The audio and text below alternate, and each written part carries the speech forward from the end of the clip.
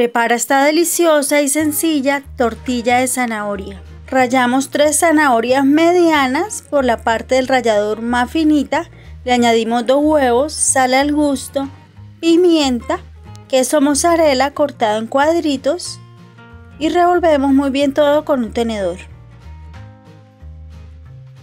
En una sartén con un poquito de aceite vamos a agregar la tortilla Extendemos muy bien la mezcla por todos lados con la ayuda de una espátula o una cuchara. La tapamos y la cocinamos a fuego bajo. Miramos si ya está por un lado y si está, la volteamos con la ayuda de un plato y lo dejamos cocinar por ese lado. Y ya está lista esta riquísima tortilla de zanahoria. Si te gustó la receta, dame un corazón, déjame tu opinión en los comentarios y síguenos.